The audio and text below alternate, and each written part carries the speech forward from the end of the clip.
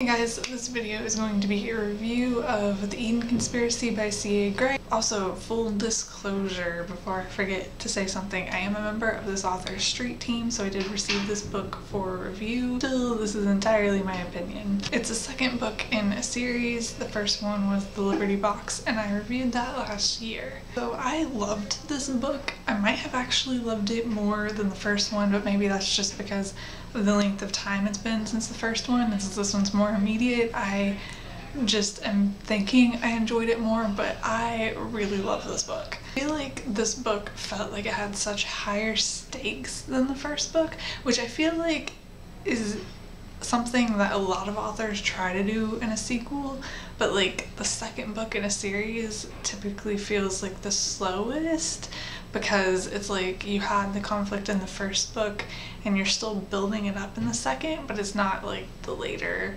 books where everything just feels really high stakes. I didn't. This one didn't feel like a second book to me.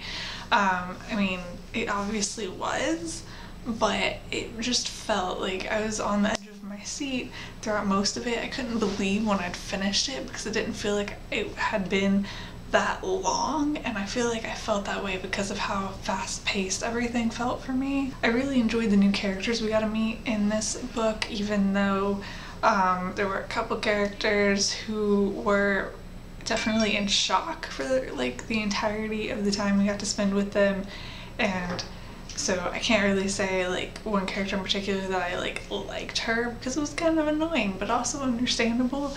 But I really loved getting to see and I'm trying to stay vague here to avoid spoilers but I really enjoyed meeting some of the new characters and I'm excited to see what happens with them in the next book. Interesting because I feel like there's a really big mystery that you're hoping to find an answer to for the entirety of the book. You don't discover the answer in this book, which is kind of expected because I mean it's the second book in a series so obviously you want to keep the mystery going into the rest of the series. But then you get to the end of the book and something else happens and now you have all of these like extra questions. Like nothing is answered in this book, but you just get more questions than you had before. And I think that was really well done like how it all played out. Like I, it definitely drew me in. Um, the mystery we had from the beginning kept me like curious like what's going to happen. And then to have this huge cliffhanger where I have even more questions it just I have plenty of questions that I want answered and it's definitely going to make me read the third book. So yeah, I can't wait until the third book to find out what happens next. But I think that is all that I have to say and I will see you guys later. Bye.